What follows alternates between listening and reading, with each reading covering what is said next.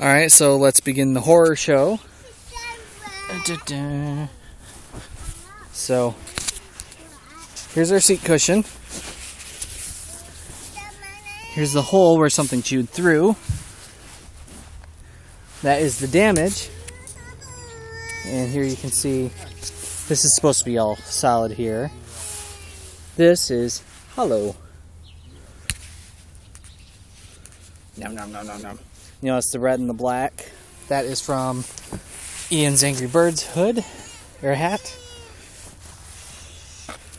And there's the confetti that used to be our seat and used to be his hat. Here you can see this guy is fastened right around there. So this belt is undamaged.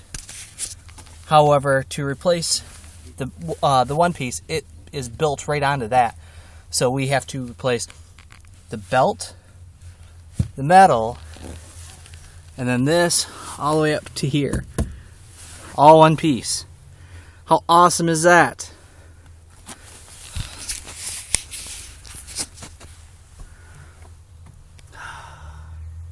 I don't even want to know what that mess over there is. Uh, Nothing.